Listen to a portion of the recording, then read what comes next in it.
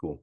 Hey, everybody. Sean Skahan here, and I have episode eight of the Total Hockey Training Podcast.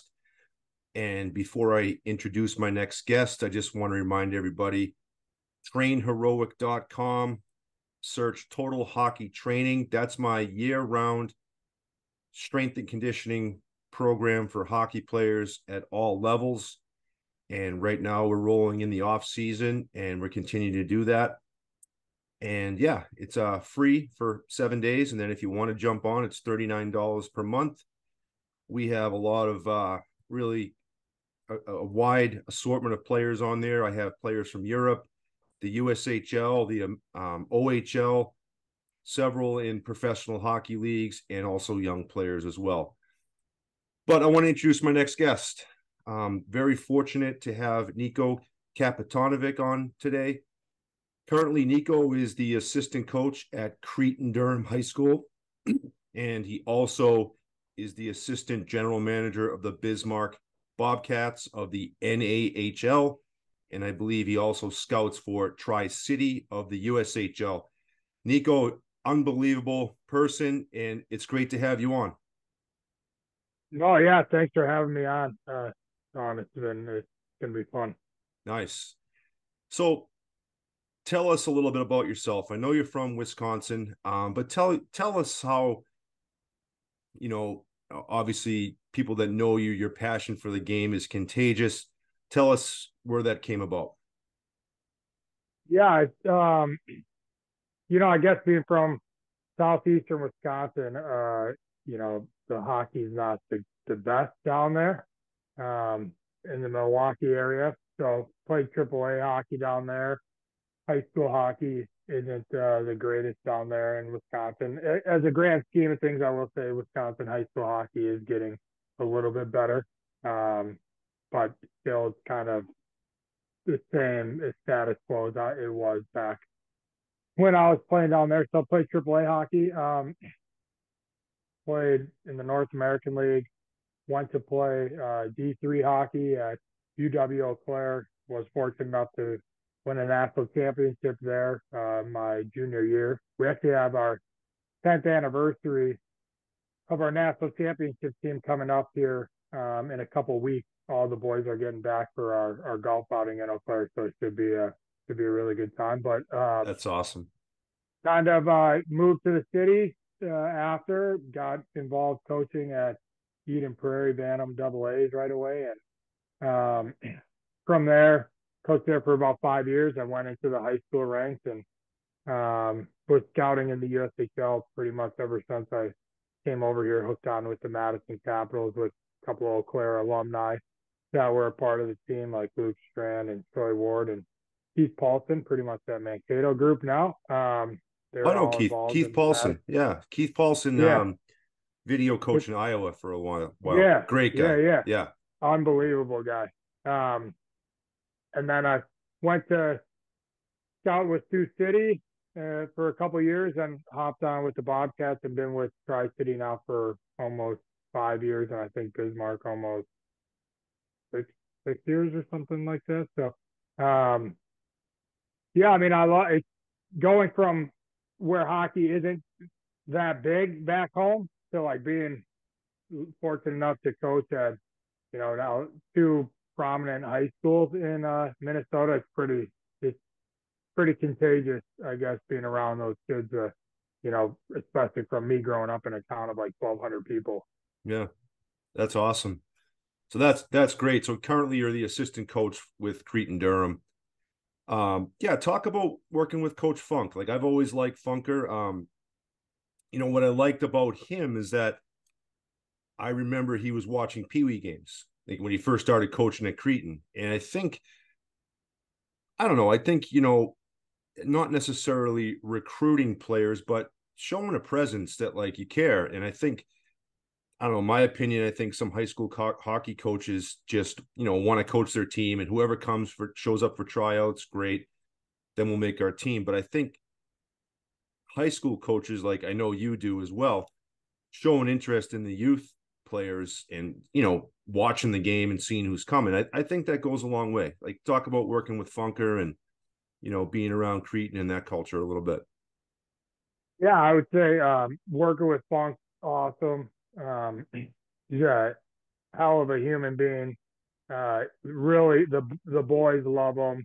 Um, you know, and he's athletic director now at, at, at Cretin too, and just being around the school when I go into his office and stuff, just uh, every kid at the school, um, you know, there's about 93% of that student body plays a sport at the hmm. school. Mm-hmm. So, you know, whether it's a girls basketball player, hockey player, lacrosse player, softball, whatever, you know, they all show him a ton of respect. They really like him. Um, and it's easy to see why, you know, he really cares about the, the kids, um, puts a lot of time into it.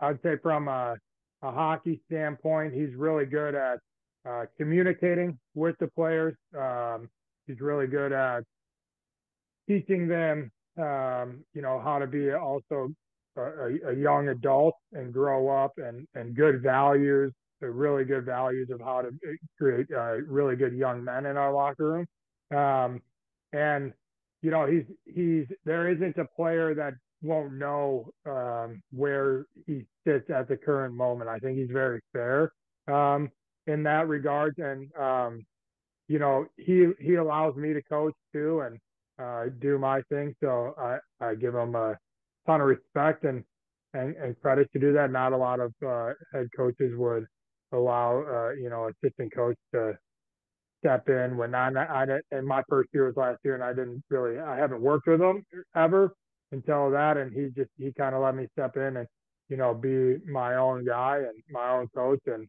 um, a lot of I would say high school coaches may have uh, an ego uh, mm-hmm. where they're like they wouldn't do that. Where um, he has no ego, he cares about the players, and um, there's a really nice culture at at Cretin. I would say the the school and the athletic portion the the want to win and be successful at the school is pretty contagious. Um, obviously, there's you know some very notable alumni at the mm-hmm. school, such as you know Ryan McDonagh and like Joe Mauer, obviously like yeah, pretty big. But um, they the school really cares about uh, de- like the culture of winning and and success. And I think I'm a firm believer if you're you put yourself around uh, people that want to be successful in life uh, and you spend a lot of time with that, there's a better chance that you're going to be successful. So um, that's uh, that's something really nice. But Funk's uh, Funk's amazing. Awesome, that's great. Um, you guys had a, a, really good run last year into the into the state tournament. I think uh, fourth place, third place. Yeah, fourth place lost to Andover in that dreaded third place game that nobody wants to be a part of. I remember watching that game. Yeah. Um, yeah, talk about, you know, one thing I didn't mention too, you work with Blue Army. Um, you work with Blue Army in the fall, in the spring and the summer. Talk about that a little bit. Yeah, um, I when they brought it up to me to, to coach in Blue Army, um, it was kind of a no-brainer for me. And this is a few years ago. I mean, our first Blue Army team, we had players, and I'm gonna probably leave some out that are gonna be mad that I leave them out. But I mean, we had players like Jackson Hallam, you know, Jared Wright, yeah, uh, who I was fortunate enough to be able to coach at St. Thomas again too. But uh, Grant Deshawn, uh, Hunter Jones, and Garrett Horsthager, like those guys are all Division One hockey players, and that was our first team we had at Blue Army. So I was like, oh wow. Yeah. But um, it's nice to be able to coach kids from different uh, associations and not just like your own. Um, I think it challenges me as a coach and keeps me, uh, which that's something that I, a reason why I really like doing it is because I'm getting these players who may not know me. They may know of me. I know of them. We've never met and now I got to see in a short time like what gets them to tick and what their tendencies are, how they play, how they interact with hard coaching, how they interact with soft coaching, like how you need to coach them to get the most out of them. And then, um, you know, I tell my guys every year, any group I have, I'm like, I hope, you know, I teach you something here or we learn something here as a group that, you know, and if you even beat us at Cretin by doing so, like good for you, you know, like, mm-hmm. um, so I've been able to build a lot of relationships with, with a lot of those players and, um, been able to help them along the way, um, into the junior ranks. Um, and we've had a lot of kids from our Blue Army teams playing the USHL or North American League. So it's been fun to watch those kids grow. But um, it's it's just it's awesome just being around kids that you really don't know. And mm-hmm. um, so, like I said, it's it's a good test to because um, as a coach, I think you got to continue to grow and learn. Um, I don't think, and I always think an NHL coach is saying the same thing too. You know, so um, that really helps me grow and learn. And, and as kids, um, you know, things change and they're raised differently from parents and all that stuff adds up to kind of what the product you're going to get out of the human on the ice. So um, I really enjoy doing that. It's a, it's a lot of fun. I love that. And yeah, I think from what I know from you, like you have that ability to connect with your players in a short amount of time. You know, like you, you're like you you mentioned your guys and you know i think that's impactful because you know you do have that ability to connect with these guys you know where does that come from is that your is that from your passion for the game is that from you know these kids just embracing your coaching style? Like what do you think about that?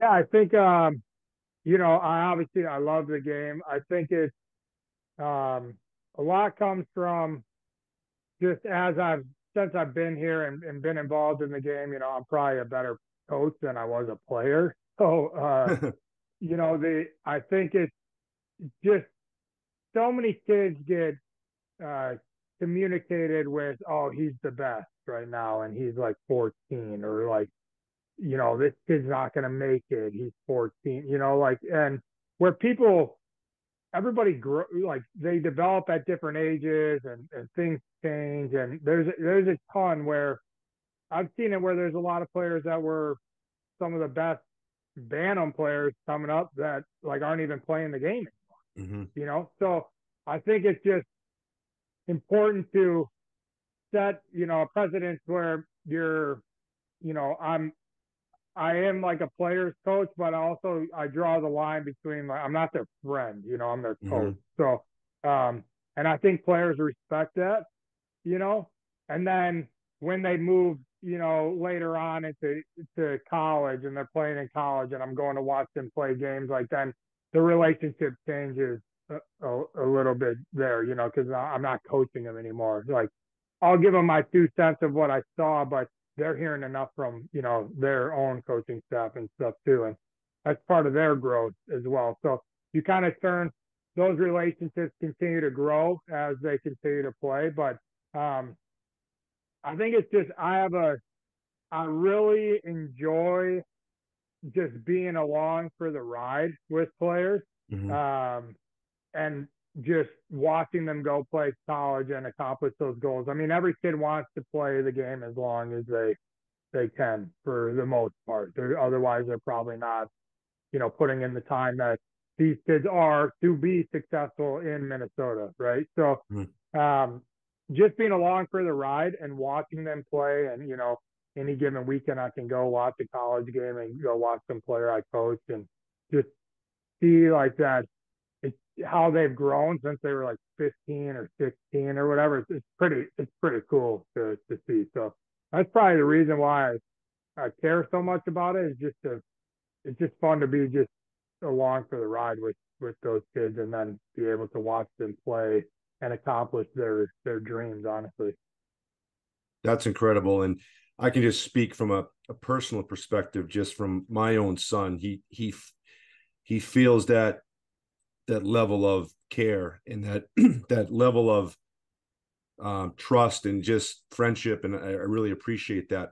But going into that, so talk to me about you know maybe there's something you don't want to share because it's, it's, something you keep between you and your players. But what is what is simple game? Because I know my son has SG on his sticks. You know, like what what what is that? And I, you know, you might put that in a hashtag or something, but like you know, explain that to me and what that means to to you and your guys, I should say.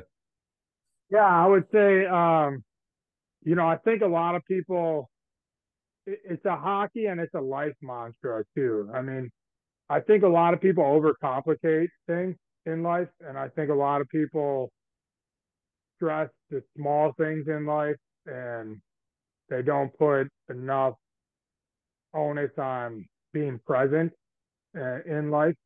Um, you know, I say it like in my sales job too. Like I'll get a sale and I'll just be like simple game boys. But you know, like I think it, it, there's a lot of things that go to it. You know, one, it's it's by doing the right thing and taking the right steps, whether it's your training on the ice, preparation, practicing, uh, you know, being a good son, uh, brother, you know, grandson, all that stuff, you know, classmate, all that stuff. Like life should come easy for you and things, good things should happen. So, like, that simple game. Like, by you doing that stuff, like, you should get that outcome.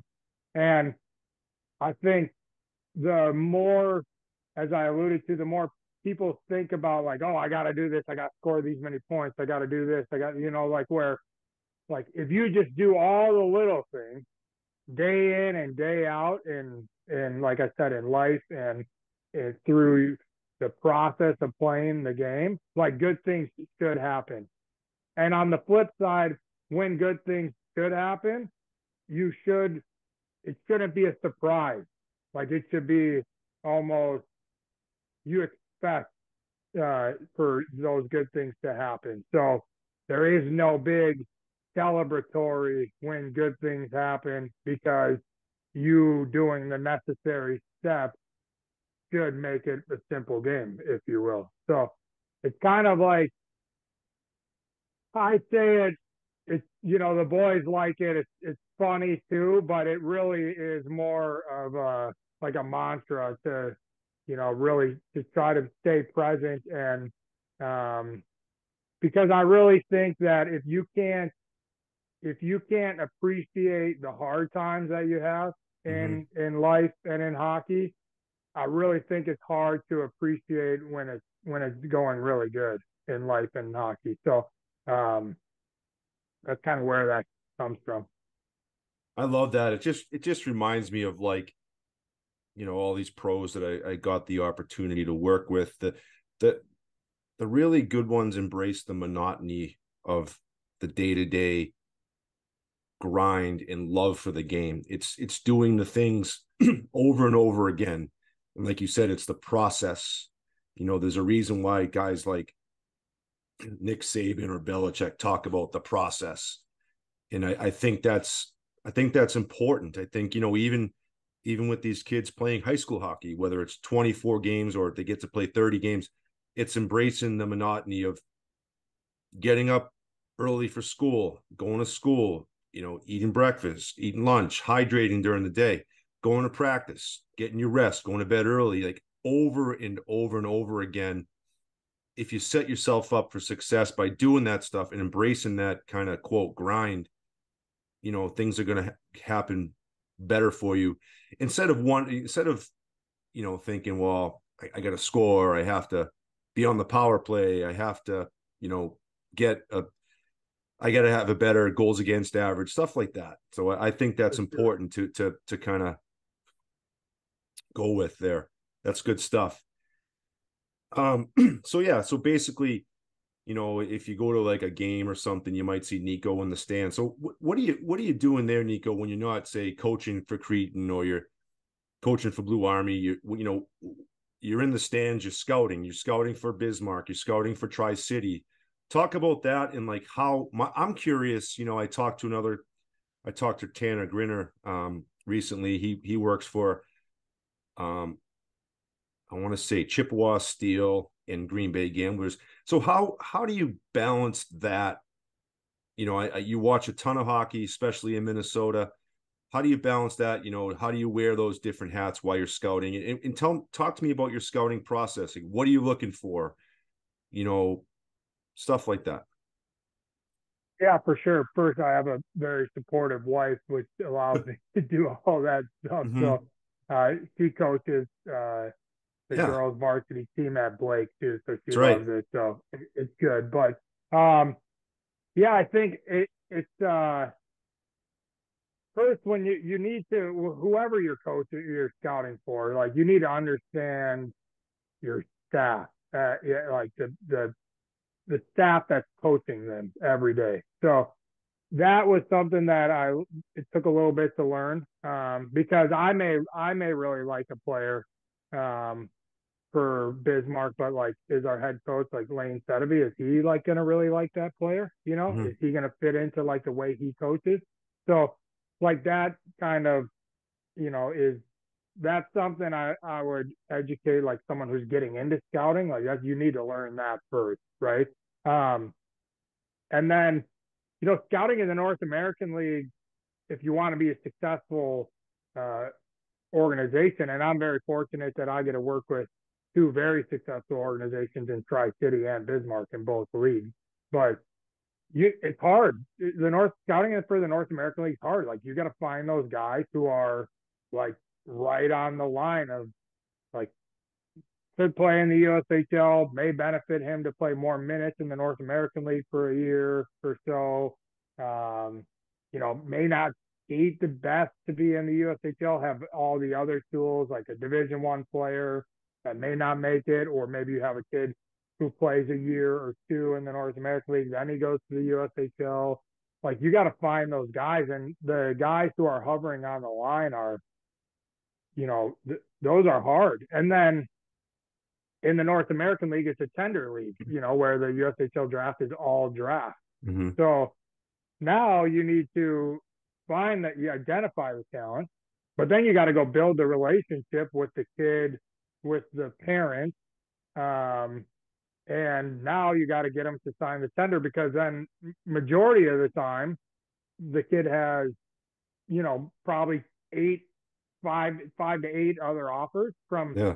so now you're like, now you need to sell your program to to the kid too. So and the family. And um that's where I'm fortunate with Bismarck because everybody knows about Bismarck here, especially in Minnesota.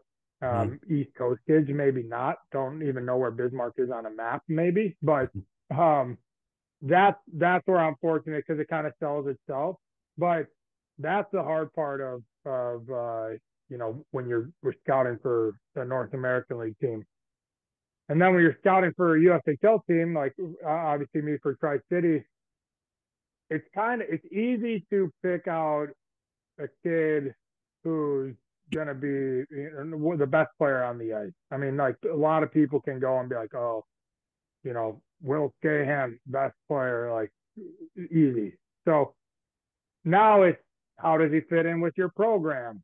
Or, you know, if, if it's a future draft kid, like this year we have the 08 going to be drafted, like what does it look like when he in two to three years or when, you know, when you would estimate him uh, getting to, to your program? Like, how's his game going to develop? Is he already tapped off where, like I talked about, there's some of those high level Bantam kids that were the best at the time that aren't even playing. Like you Mhm. can't find those kids, you know? Mhm. So if you're lucky enough to find a kid who maybe has a lot of those tools that hasn't really went through puberty yet, like those kids normally always pan out. I mean, I Mhm. would put like I had Jackson Blake in Bantam, like he Mhm. would he would be in that category. Like like Yeah. now he's grown and stuff, like he's a stud.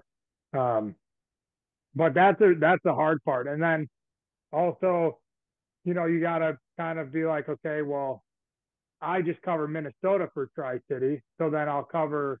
Now I'll do like a cross reference when maybe the tier one elite leagues in Blaine or something like that, or I go down to Shattuck and I go watch that. So now I got to take so and so player who I really like for for the draft uh, uh, for us at Tri City, and like then compare him to what does he look like against like a a kid from the Colorado Thunderbirds or mm-hmm. CompuWare or Shattuck or Culver or Mount St. Charles or something like that. So, and then you compile your list as a as a whole staff, and then you kind of just you know, I give GMs in the USHL a lot of credit. Honestly, it's a lot. Yeah, it's a right. Lot. It's a lot. It it sounds like a lot. You have to, a lot of balls you have to juggle. And so my question is, so say you're looking at a kid for Bismarck, you do you have the conversations with the parents of, hey, we think that he would benefit greatly from from playing with Bismarck, getting more minutes, top line minutes versus playing in the USHL, not playing as much. Do you have those conversations with parents and and are they receptive to that? Do they get that or they fight you on that sometimes? I would say some some parents get that. You definitely have those conversations. Um, you know, those conversations may happen later on in the in the process. Yeah. You know, after they may go to their USHL camp. You know, but I always tell kids, uh, you know, and and this may be the coach in me that cares about the player. I'm like, hey, I, I hope you play in the USHL. I mean, it's the best junior league you could yeah. play in, right? So I'm like, if you don't, or something happens, or you don't like your ice time or, or whatever, you know, that by you tendering in Bismarck, this gives you a, a good backup plan, right? A, a, good backup option, you know. And we'll never tell a kid like you shouldn't go to the USHL. Like we we we won't do that in mm-hmm. Bismarck. Mm-hmm. Never have, never will. I won't. I wouldn't work there if that was the case. Mm-hmm. Um, so those those are just being upfront and honest. Like, hey, we're taking you. I think you know, you're a guy who's in between, depending on how you do the rest of the year, that's obviously going to, you know, extend into what you're probably going to be in the USHL or what or whatever. But I'm like, I hope you go play there, and I hope you get minutes. You know, like we're just a backup option for you at that point.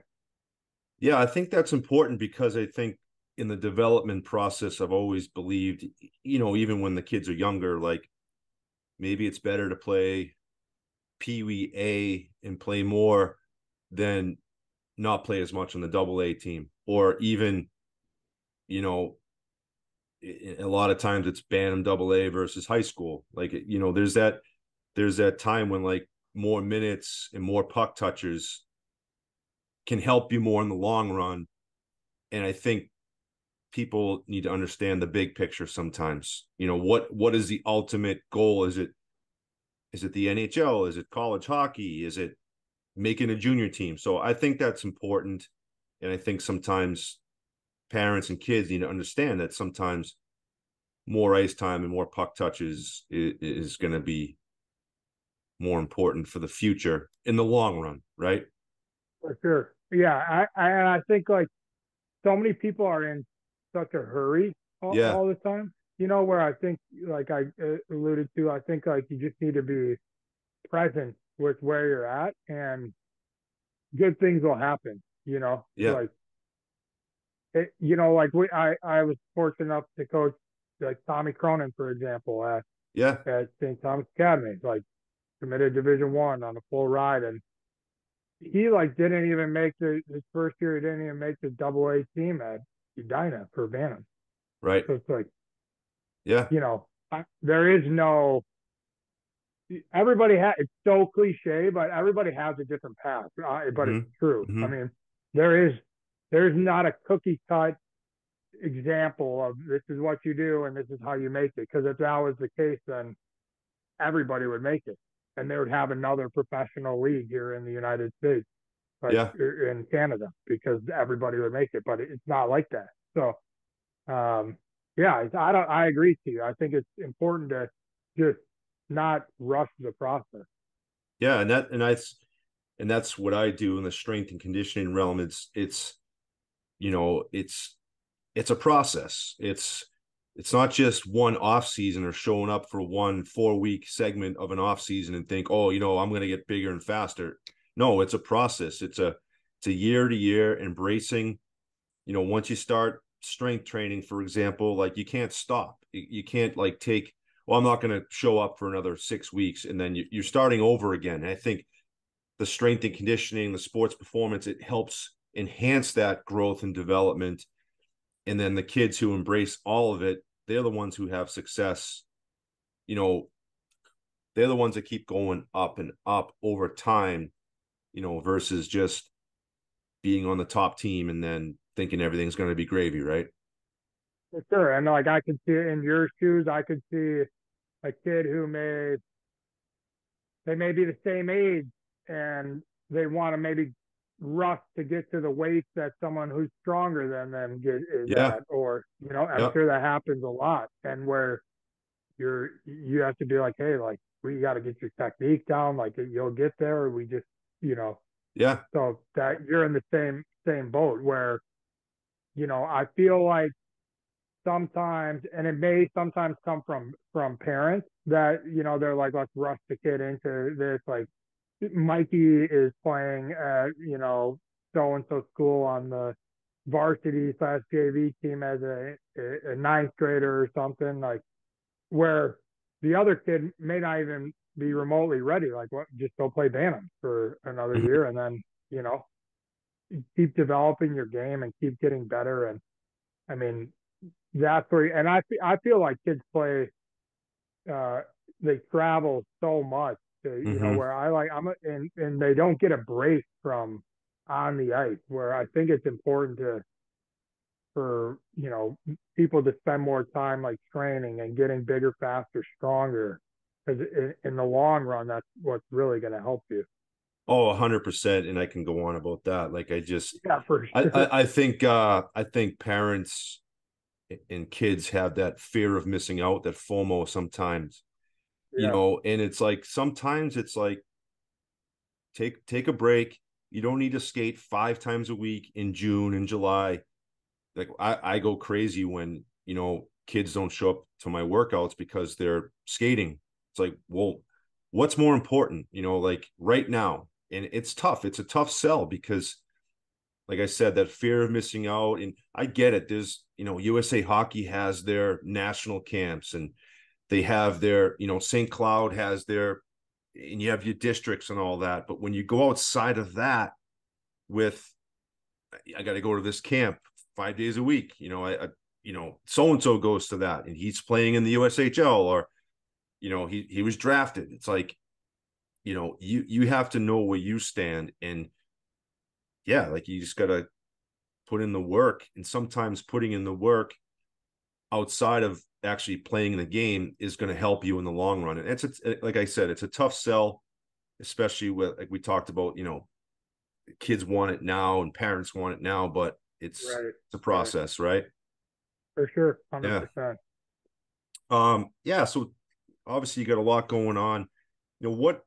What are your goals, Niko or Coach? You know what? What are your goals professionally? What do you want to do? Like I think, honestly, like you should be coach. You should be the head coach for a high school team for sure. But maybe maybe you don't want to do that. Maybe you want to keep kind of doing what you're doing. Maybe you want to be a GM or a scout for an NHL team. Like what do you what do you want to do? or you just kind of going day to day and seeing where it, this game brings you? Yeah, I kind of, you know, I've been offered some some jobs at higher levels and and things like that. Um, I don't know. Right now, I really like it. I mean, it's nice to be able to to come home every night and with my wife and my dog and um, spend time at home. Um, you know, eventually I will get to that point, but I really currently I really like coaching the high school age uh, group of, of, kids. I think it's like it's a great age, and um, I don't I I don't need the title of head coach for a high school team like next to my name. Like I could really care right. less. To yeah. be honest, like it doesn't doesn't matter to me. Mm-hmm. Um, the boys know how much I care about them and how much time I put in with it. That's all that really matters to me. So, um, I think the right opportunity will come around when, you know, you're least expecting an opportunity come around, and and at that point, then I'll reevaluate, you know, where I'm at with my current sales job and and everything like that. But um, you know, I also it's it's hard when you know, you may have a, a family that comes into, you know, to come play for me at Cretin or something, and um, you know, you sit down with them and they tour the school and all that. And for me not to be there for all their years when the kid's making, you know, a, a significant move to come into to the school. I think that's wrong. So, um, Mm-hmm. Mm-hmm. uh, you know, I wouldn't be able to sit there and talk to a family and uh, a, a prospective player and and lie to them about that. So, um, we'll uh, just yeah, kind of take it day by day, I guess, and just stay present with where I'm at. Try to do the best with uh, where I'm at. Try to continue to develop uh, hockey players at Cretin um, into being the best uh, student athletes as, as they can be, and you know, hopefully watch them continue to play at, at higher levels. And you know, like Will knows this from me coach at St. Thomas Academy. Like I'm not a big wins loss guy. Mm-hmm. Um, I think winning becomes a, a byproduct of development and developing the players. So by you making players on your team better, the players want to win the state tournament. Everybody in, you know, once October rolls around, they're like, "What are your team goals?" And every team in the state's gonna be like, "Get down to the X in saint Mhm. Paul." You know where we don't talk about that as a as a group. I don't talk about that. Um, you know, we talk about just trying to get as many guys into, you know, drafted in the USHL or, you know, into a North American League spot or committed college and stuff like that. We talk about that stuff and um, the better you can make your players, you know, I, I truly believe the the the longer uh, your season's going to be, and and the players obviously want that. So um, it's kind of they just go hand in hand, and I'm I was a believer of that since Bantam. So Love it. That's awesome. That's fantastic. And I think, like I said before, like your relationship with your players, like that, that's what you get. You get these kids that, you know, players need to know how much you care. And, and I, I don't have a doubt that they don't know that. And just seeing these, seeing the amount of kids who have gone on to do great things under your coaching and guidance, whether it's, you know, one season or it's every summer with Blue Army, like it, it's pretty neat to see. And so, you know, that's why I wanted to have you on. I just think you're a, um, an asset to the game of hockey, not only in Minnesota, but on a national level as well. So that being said, really I, appreciate that. yeah, yeah, thank you. And, um, yeah, thanks for everything. And I just want to, you know, say thanks for coming on and really appreciate you taking the time. And, uh, yeah, we'll have you on again sometime. Yeah, that was awesome. It was great chatting with you, Sean. I think you do amazing things. You're a great resource for for the kids, um, and you know just hockey players in general. Um, you have a wealth of knowledge that you can give back to uh, you know players, and you know I think you're going to be there's going to be a lot of people that are going to want to continue to to work with you. I think you just have a really good mindset, and um, I think you're able to speak with the kids too on a you know a level of you know you've been around the game for a while, and um, you know you've worked with a lot of NHL players, and I think just the mental grind of the game too, you're able to help kids out with where I don't really necessarily think that uh, they're getting that, and it's important too, um, you know, for for people listening that you know I think kids, a lot of those conversations that happen around the dinner table at night about how good their they the kids or the parents think their kid are and stuff like that, and um, I think it's important to have little adversity and and really earn um, your opportunities. Um, and I think the more high school coaches that can have their players earn opportunities and not just give them opportunities, um, I think the the better the product is going to continue to get in Minnesota. So I love that. That's a great, that's a great point. Um, that's awesome. Well, well, thanks for coming on, buddy. And uh yeah, we'll do it again sometime. sounds good. Thanks, John.